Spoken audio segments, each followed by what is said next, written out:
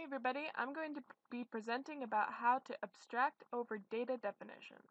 If you haven't seen my intro to abstraction video, I'd highly recommend it since I'm going to be using the steps presented in that video.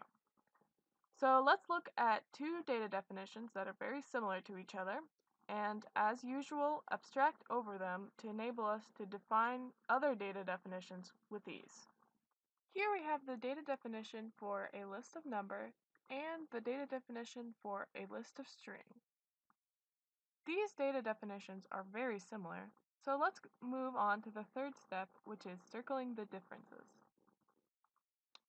We see that the differences are in the name of the data definition, list of number versus list of string, and the first element of the cons.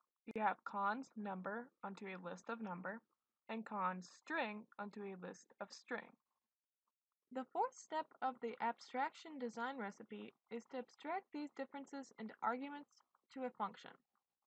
Since we are working with data definitions, we have to define a new kind of data definition that uses a variable.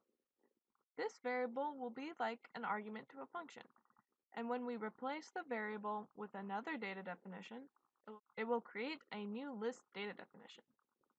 Below the list of number and list of string data definitions, we now have the abstracted list of data definition.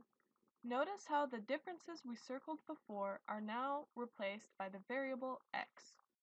Also notice how the data definition is now wrapped in brackets as if it were a function. List of is the name of the function and x is an argument. Our final step of the abstraction design recipe is to redefine the previous data definitions using the abstract data definition. So our list of number data definition just becomes list of number. This is because if you were to replace every occurrence of the variable x in the abstract data definition list of x, we would get a list of number is one of empty, cons, number, list of number, which is identical to our previous list of number definition. Similarly, we rewrite our list of string definition using our abstract list of x data definition to list of string because just as before if you replace every occurrence of the variable x with string we get that a list of string is one of empty cons string list of string which is identical to our previous definition. I hope this video helped and until next time.